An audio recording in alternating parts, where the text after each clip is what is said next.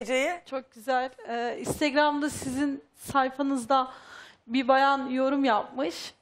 Ee, evet annesi onu çok aradı diye. Ben de yazdım siz nereden biliyorsunuz tanıyormuşsunuz gibi yazmışsınız dedim. Ben de de o bayanın kız kardeşiyim dedi. Ee, Zuhal teyzemmiş. Ondan sonra onunla da konuştum. Sonra diğer teyzelerim aradılar. Konuştum hepsiyle. Annemin resmini attılar. Ve işin en güzel tarafı Müge abla. Annem bana o kadar yakınmış ki iş yerime Aa, yemin ederim o kadar mutlu oldum ki benim iş yerim var çanta ve kozmetik üstüne etlikte. Teyzelerim orada oturuyorlarmış. ay aynı yerdeymişsiniz. Evet aynı yıllardır. yerdeymişiz. Çok mutlu oldum ama. Teyzem bunu söyledi. Dedi kızım biz sana dedi iki dakikalık yerdeyiz dedi. Yürüme mesafesindesiniz yani. Evet, Ha, belki de evet. yani karşılaştığınız yıllar içinde. Evet yani illaki benden bir kozmetik ürünü almıştır veya bir çanta almıştır. Bir dükkanıma gelmiştir yani. Ee, dün bana herkes... Hayata bakar mısınız ya? Senin anne annenle haberin yok. Yani 30 yıldır Evet. görmeyeceksin anneni. Senin bir dükkanın var. Annen o dükkana iki dakikalık Oradan mesafede belki geliyor alışveriş senden alışveriş yapacak. yaptı yapıyor. Evet hiç ve haberim yok. tanımıyorsun. Ve benim e, annemle görüştüğümü söylemişler. Kesinlikle Müge abla ben hiçbir şekilde görüşmedim. Zaten görüşmüş olsaydım buraya kesinlikle gelmezdim.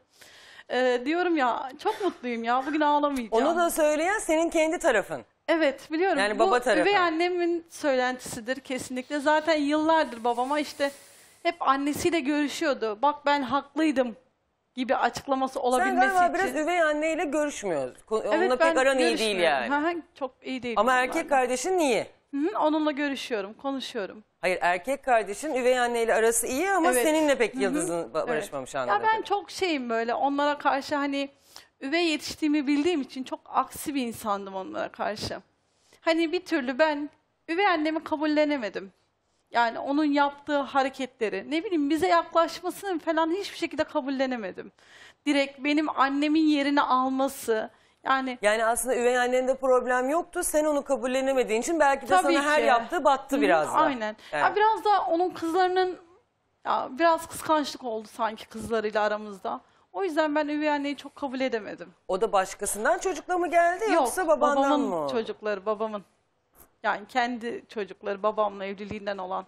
Yalnız Onlar şunu da kardeşi. söylemek lazım. E şimdi böyle üvey olduğunu bilince insan, e tabii sen, sen daha büyüksün. Sen daha onlardan erken ergenliğe giriyorsun. Zaten ergenlik bir çatışma dönemi. Evet. Bu sefer sanki bana kötü davranıyor da ona daha iyi davranıyormuş gibi. Bunun kendi öz kardeşler bile aralarında yaşarlar. Konulmuş hani sen onu kurallar- daha çok seviyorsun. Konulmuş kurallar aslında e, doğru ve e, gerçekten olması gereken kurallar olsa dahi o yaştaki çocuğa işte bak ve üvey anne Üvey olduğu, olduğu için, bana, böyle, yapıyor davranıyor yani. diye. Üvey olmasan böyle yapmazdı. Aslında değil yani onu da çok şimdi herkesi de ben böyle üvey anne, üvey baba diye yaftalamak istemiyorum. Çünkü hani öz çocukların bile e, sana gelip sen bana niye böyle davranıyorsun deyip isyan ettiği zamanlar oluyor. Sen onu dediğiniz gibi kurallara karşı koyma.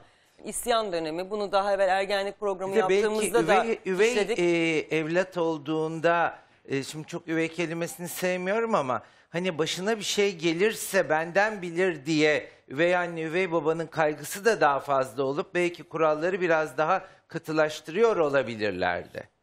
Ya. Çünkü kardeşin bir Evet. problem yaşamadığına Evet, göre. kardeşim çok seviyor gerçekten. Hani üvey annem de bize şey yapmadı yani. Bana belki yapmıştır. Hani çok şey yapmıyorum. Onun hakkında da konuşmak istemiyorum da. Erkek kardeşime gerçekten birebir öz annesi gibi davrandı yani. İşte biraz karşılıklı işte. Evet. Sen bana nasıl yaklaşırsan ben de sana öyle Aynen. gelirim. Ama kabul edemedim Müge abla ya. Çok şeydi böyle. Hep benim dediğim olsun. Sen haksızsın. Dur artık.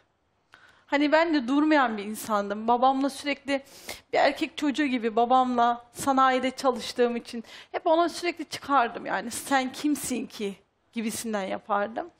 Ama ne bileyim ya bugün gerçekten her şey çok Bence güzel artık olsun şimdi istiyorum. sen de artık bir çocuk annesisin. Bence özüvey demeden biraz daha olaylara belki objektif bakmalısın diye düşünüyorum. Sonuçta ortada da bir emek var. Evet. Ee, bu emeği de inkar etmemek gerekiyor Tabii ki. yani kolay değil. Bir de sana bir şey söyleyeyim mi? kolay değil yani. Gidip biriyle evlenip onun iki tane üç tane çocuğuna bakmak ve annelik yapmak da çok kolay bir şey değil. Bunu da kabul etmek lazım. Kendi Aynen. çocuğun düşse e, hani kaza olur. Öte- Ama o çocuğa bir şey olsa bir vay şey üvey anne olsa bakamadı Yani ki. kolay işlerden bahsetmiyoruz. Peki aslında tabii bunun bence muhasebesini kendi annenle yapmalısın. Ve annen telefon hattımızda. Çok sevindim. Bir alo de bakalım. Alo. Yavrum. Annem. Anne. Canımın içi. Ay yavrum bir tanem. Anneciğim çok mutluyum ben. Kurban olurum. Sana kavuştum. Annem kurban Hani olurum. gelseydin. Annem durumları biliyorsun. Gelemiyorum bir tanem. Olsun anneciğim gelme. Ben geleceğim sana. Yavrum, Ankara'ya gelir gelmez geleceğim yanına. Kurban olurum sana bir Ben tanem. de sana ölürüm annem. Beni doğurduğun için o kadar mutluyum ki anneciğim. Biliyorum ben. Ben seni hiç bırakır mıydım yavrum? Ben ben, Ben seni biliyordum hiç zaten seni bırakmadım, beni ben de. bırakmayacağını annem. Çünkü ben senin gerçekten sütünü emdim. Helal bir süt emdim anneciğim. Biliyorum başına neler geldiğini, nelerden gittiğini de biliyorum. Bunca yıl görüşmediğimin, görüşemediğimizin sebeplerini de biliyorum. Yani e, ama bundan sonra yanımdasın anneciğim. Ben seni zor buldum. Kaybetmeyeceğim annem. Annem inşallah kurban olurum. Annem burnumda tutuyorsun. Canım Ne bayramın bayram oluyor ne anneler günüm anneler günü. Aynen anne benim de öyleydi ama Bayram günü oturuyorum şey dışarıda hüngür hüngür ağlıyorum bir tane. Ağlama Burnumda artık anneciğim. Çünkü ben yanındayım. Sana da çok yakınım. Yavrum çok ettiler bana. Halen de çekiyorum. İnşallah Biliyorum bir araya anneciğim. gelir sana anlatırım. Biliyorum ben. hala da onların oyununu oyununun içindeyiz. Oyunlarını yaşadık. Dünden bana seninle görüştüğüm için e, görüşüyormuşum gibisinden duyumlar aldık. Ben seninle hiç görüşmedim annem. Yok yavrum Ama, görüşmedik. eee, Ama ben çok aradım. Taşındığım Biliyorum yerlere anneciğim. geldim. Kolu komşuyu aradım. Çatılarda, kömürlüklerde yattım yavrum. Biliyorum Üstüne annem. Ben, köpekleri saldı yavrum. Biliyorum. Araba çarptı iki ay hastanede yattım. Trafik kazası geçirdim ben çimlerde. hastaneleri falan hep aradım biliyor musun Bir anne? saniye Bir kayıt. Bir saniye Dilber Hanım günaydın. Gözünüz aydın. Sağ ol Mügem kurban olurum. Mügem. Mügem sana, sana çok bağlanmak istiyordum. İnan var ya gözümü senden ayırmıyordum. Seni çok seviyorum. O kadar iyi yürekli bir insansın ki anlatmaya yürek Canım değmez. benim ya. Senin yerin bir başka Mügem. Çok Canım benim. teşekkür ederim. Bir tanem. Her televizyonu açtığımda o güler yüzün bana dünyalara bedel oluyor. Çok teşekkür ediyorum. Bir gün kızının gelip seni arayacağını tahmin ediyor muydun? Hiç tahmin etmiyordum. Ama ben diyordum bir gün çıkacak diye gözümü hiç ayırt etmiyordum televizyonda.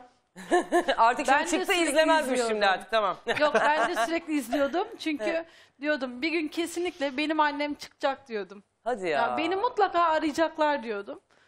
Ama Bir tanem cesaret edemedim. Cesaret edemedim. Biliyorum anneciğim. Kolum Hiç- aşağıdan sıkıntı yukarıdan kırık yavrum. Boynum bükük. Başımda bir bela var. Çıkıp bir yere gidemiyorum bir tanem. Olsun annem. Başındaki 18 belaları yaşında bir- atlatırız biz seninle. 18 yaşında bir kızım var. Halen okula götürüyorum, getiriyorum. Yalnız bırakmıyorum. Ortalık çok kötü. Halen peşlerindeyim yavrum. Evet anne. Başka çocuğunuz? Bir kızım bir oğlum var. İki tane Kızım 18 kardeşim. yaşında okula götürüyorum, getiriyorum kendim. Bir şey olmasın diye. Başında Onlar bela var derken? Yok, Babalarından için diyorum yani. Ayrılamıyor musunuz?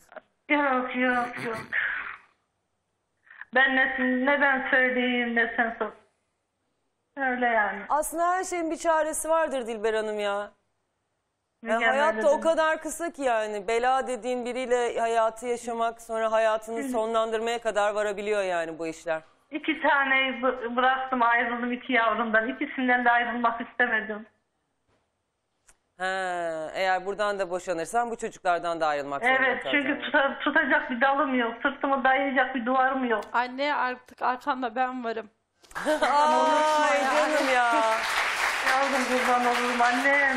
Emin ol e, Umut'u da getireceğim sana. Umut'u da göreceksin anne. Hani Umut ne kadar kabul etmese de sen onun annesisin. Ben kabul ettireceğim seni. Kurban olurum sana annem. Canımsın annem. Umut nasıl büyüdü mü? Büyüdü onun da çocuğu oldu. Öyle mi? İstanbul'da mı oturuyor? Ankara'dayız anneciğim. Bunları ben gelince seninle özel bir şekilde konuşacağım, görüşeceğiz seninle. Tamam yavrum. Dilber Hanım çok yakınmışsınız. Hatta kızınızın bir çanta ve ko- kozmetik sattığı bir mağaza varmış size de çok yakın. Şimdi çok açık etmeyelim ama belki de onun önünden bile geçtiniz. Belki biliyorsunuz yani o mağazayı. Yeğenlerim gitmiş, kardeşim gitmiş. Oradan alışveriş yapmışlar, tanıyorlarmış.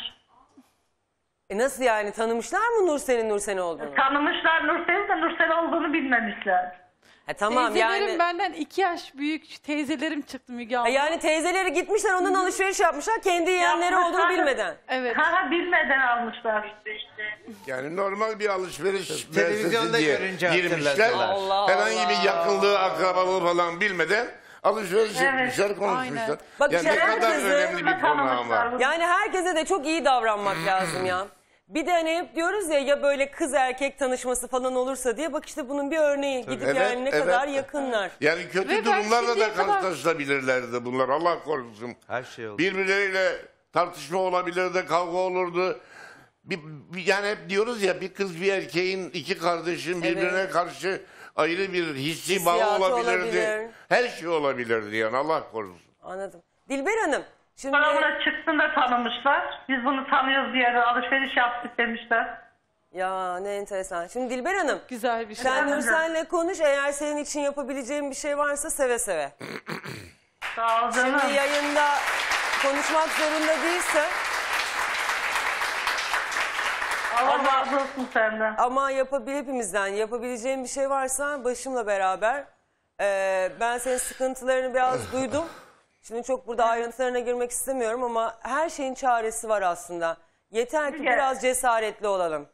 Seninle aslında şöyle çeke çek program dışında telefonla bir bağlanmak istiyorum. Sana bir derdimi döksem var ya inanamazsın. Nasıl dayandın dersin.